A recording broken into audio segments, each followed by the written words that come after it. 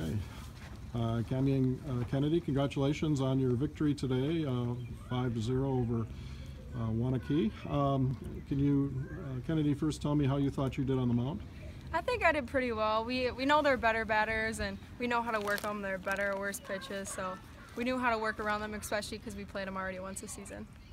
And as the catcher, you, you had first-hand uh, view of uh, how Kennedy was doing. How did you think she pitched today? I think she was really doing well, hitting her spots and calling, especially like we just we do know the batters and we did a really good job, just kind of like working together and working counts. So I think we did well tonight. Uh, how many pitches were you using, mixing? Um, three pitches: Three. fastball, changeup, rise ball. Okay.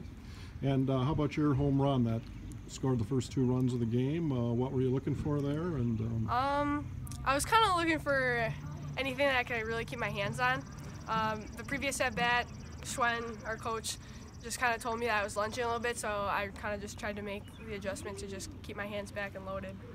okay. And how do you think the team's been doing so far this year? I think we've been doing really well. In the past couple years, we get too comfortable in like games when we're up by a little bit, or so be it. But this year, we've been working really well. We have a lot of really good team chemistry.